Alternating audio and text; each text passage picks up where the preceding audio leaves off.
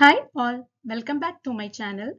I hope you guys are doing good. Today I'm going to discuss how glucose insulin infusion corrects hyperkalemia. Let's move on to the topic. Let's see about the basic things before moving on to the mechanism. Potassium is an electrolyte and most of the body's potassium is located inside the cells.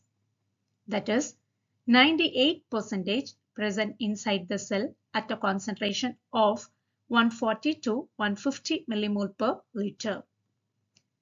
Only 2% present outside the cell at a concentration of 3.5 to 5.5 millimole per liter. Blood is an extracellular fluid which will be extracted and sent for investigation. So, when you are taking blood and sent for test, as it is an extracellular fluid, the normal potassium is 3.5 to 5.5 millimole per liter.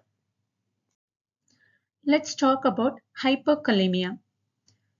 Hyperkalemia is a condition in which the blood potassium level is high, that is more than 5.5 millimole per liter.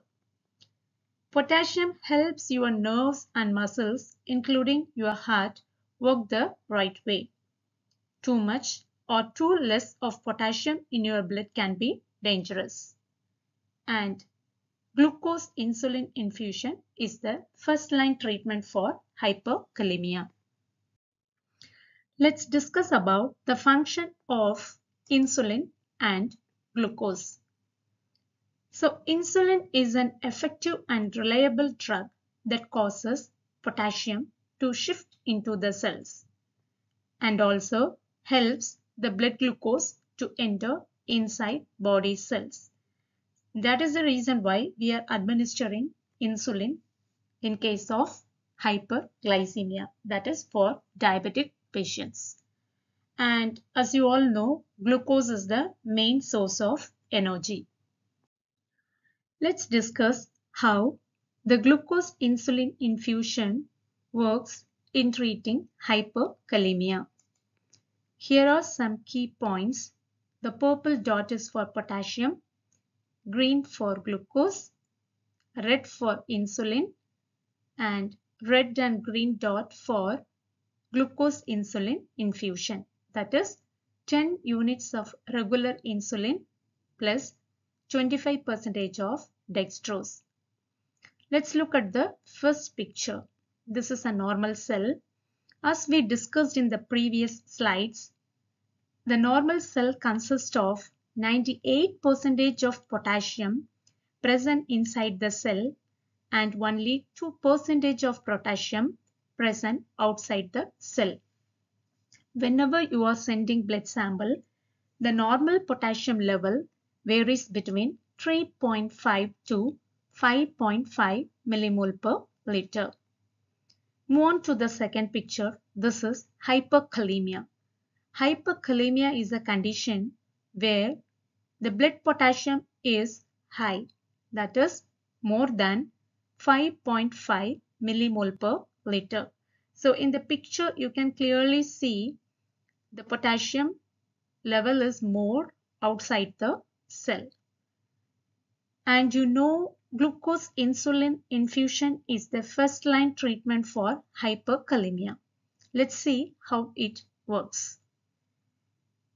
As we discussed earlier, the insulin has got two main functions.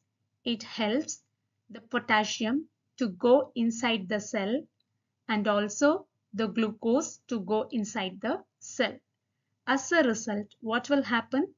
The potassium will be corrected, but it will end up in hypoglycemia. So in order to prevent that, we are administering dextrose along with insulin. This is how it maintains the homeostasis. Let's talk about the post-treatment outcomes. That is, after administering glucose insulin infusion, what will happen? Potassium will be corrected and the blood glucose will be low. So in order to compensate that, we are administering injection dextrose along with insulin.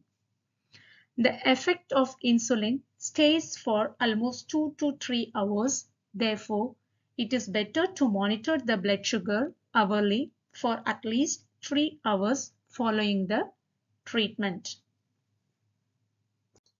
Thank you so much for watching this video. Now I'm sure that you got a clear idea how the glucose insulin infusion works in treating hyperkalemia. I hope this would be helpful for you guys. If you feel the same, kindly like, share this to our friends and subscribe my channel. My channel name is Jebin Shine and don't forget to press the bell icon button so that you will get the notifications whenever I am uploading new videos. Thank you all once again. See you all again with one more interesting topic. Until then, it's bye from Jebin. Bye bye. Take care.